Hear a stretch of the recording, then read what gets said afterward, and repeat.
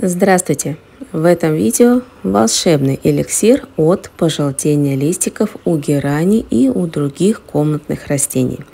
Данный эликсир мы приготовим с вами самостоятельно из нескольких профессиональных средств. Не будем использовать органику от пожелтения листиков. Многие писали в комментариях, что сейчас именно в осенний период именно болеют растения, поэтому органические удобрения э, применять в таких случаях нежелательно.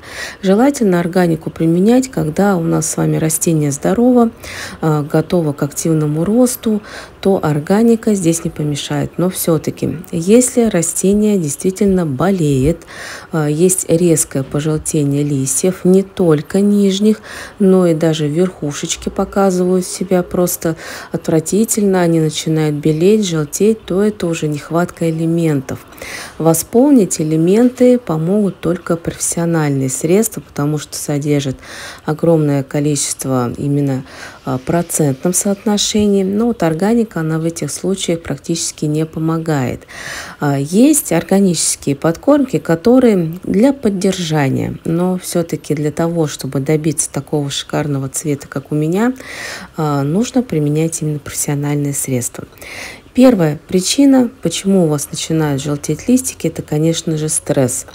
А, после того, как мы с вами привезли с огорода, либо с балкона занесли, обязательно опрыскиваем наши растения сапином, цирконом, янтарной кислотой и делаем обязательно курс. Далее а, пытаемся создать именно микроклимат, потому что там, на балконе, на улице совершенно все по-другому. Воздух, влажность, все другое. В квартире душно, жарко, и поэтому а, либо перекрываем батареи, если это возможно, либо ставим в тот угол, где самый прохладный, хотя бы температуру 20-22 градуса. Выше в зимний период нежелательно, потому что герань в домашних условиях очень плохо начинает усваивать все элементы из грунта. Даже если вы будете плевать профессиональными микроудобрениями, не поможет, потому что именно начнется хлороз. А хлороз это когда у нас не усваивает растение элементы. Создадим из четырех средств я вам расскажу, как они называются, что с чем смешивать, для того, чтобы все-таки добиться того, а, чтобы листики у нас не желтели. Есть еще один вариант, если вы все-таки создали условия, но грунт у вас а, плоховатый, либо пересаживали давно, либо он уже истощил абсолютно все свои ресурсы, то есть растение уже не может питаться из грунта. Если вы давно пересаживали ваши цветы, то пересадите в новый грунт. И помните, что грунт должен быть питательный, жирненький для наших комнатных растений. И далее будем создавать с вами эликсир. В составе эликсира от пожелтения листьев обязательно должны быть такие средства, которые содержат железо, медь, цинк, марганец, кальций, а, который поможет именно справиться с пожелтением листьев. Если просто применять, допустим, монокалий фосфат, биогумус или что-то другое, у вас а, ну, будет прирост там корневой системы, возможно, выдаст цветонос, но листики не перестанут желтеть. В определенный момент нужно обязательно делать такие эликсиры. Итак, первое средство, которое возьмем за основу, оно содержит уже аминокислоты, это обычный биогумус для цветочных растений. Биогумус понадобится 5 мл на 1 литр воды. Обязательно в составе биогумуса, обращайте внимание, должны быть и гуминовые кислоты, фульвовые кислоты и аминокислоты, а также э, процентное соотношение азота, фосфора и калия в большем проценте. Что это значит? Это значит не меньше 1, 2, 3%. Если будет 0,1, 0,2, там 0,3, то это очень маленький процент и э, можно сказать, что это не удобрение, а просто вода. Поэтому такой биогумус не используем, а используем хороший. Обязательно смотрим все на упаковке. Для того, чтобы избавиться от многих болезней, а как раз пожелтение листиков это не только стресс, но и бывает корневая гниль и многое другое у растения, нам понадобится фитоспорин. У меня фитоспорин М жидкий и я беру 5 мл на этот литр воды.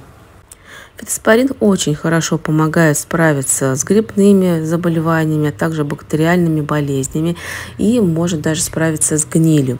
Если вы заметили пожелтение листиков и видите, что не только нижние начинают желтеть, но и верхушечка страдает, то обязательно смотрим на стволик а, нашего растения, обращаем внимание. Если есть прям мягкость, есть почернение, то все, срочно спасайте черенкованием герань, либо другой другое растение, потому что началась именно гниль, от которой уже практически не спастись. Только черенкование спасает в таких случаях.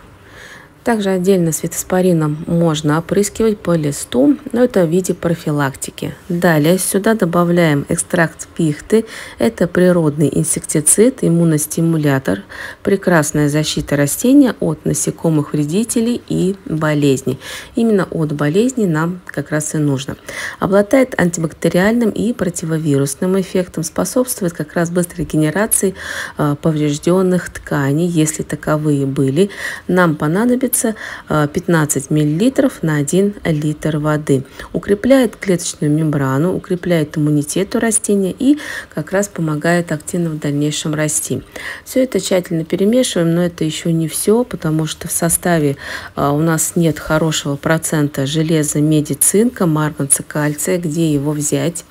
Есть специальные пакетики, как раз хелат железа, есть а, хелат меди, хелат цинка и так далее. Но можно можно подобрать и универсальное средство, которое уже содержит. Специально какие-то средства я вам сейчас не показываю. Это дело потому, что у многих их нет, поэтому именно по составу запоминайте, запишите, какие можно смешивать между собой. Итак, сюда добавляем как раз хелаты.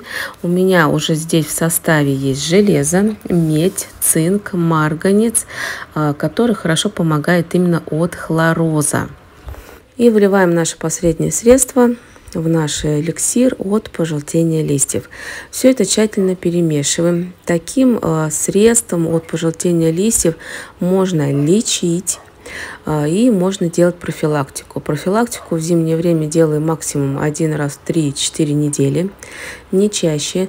Для лечения один раз в 10 дней. И помните, в это время а, нужно еще опрыскивать от стресса сапином, цирконом, янтарной кислотой по листу. И также не забываем про фитоспорин, если это требуется. Если вдруг вы заметили прям сильное пожелтение листьев, побеление листиков, то этот эликсир тоже поможет. От хлороза и для лечения он помогает. Поливаем понемногу, не заливая растение, потому что оно и так в стрессе. Если вдруг есть э, гниль, что-то подобное, то помните, лишняя влага, наоборот, вредит вашему растению.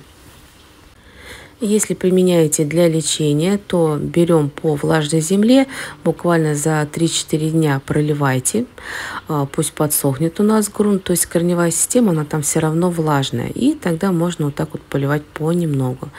У меня трехлитровый горшок, и я поливаю буквально где-то 7 ложечек. Этого будет достаточно.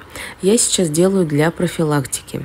Если вы делаете для лечения, то не преувеличивайте дозировку в поливе. Ну а на сегодня это все.